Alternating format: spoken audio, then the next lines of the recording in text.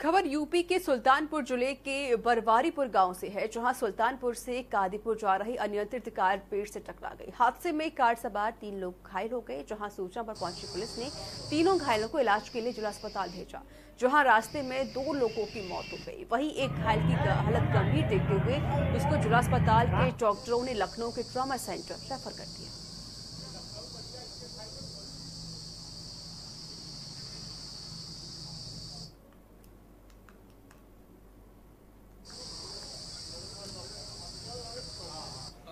सुल्तानपुर तरफ़ आती हुई स्विफ्ट डिज़ायर गाड़ी नंबर ईपी पचास ए एल ग्यारह उन्नीस, जो पेड़ से टकरा गई थी, जिसमें तीन लोग गंभीर रूप से घायल हो गए थे।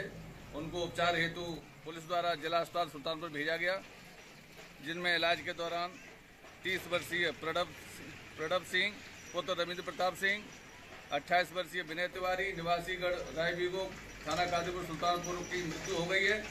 व आदर सिंह, पुत्र अनिल सिंह का इलाज चल रहा है।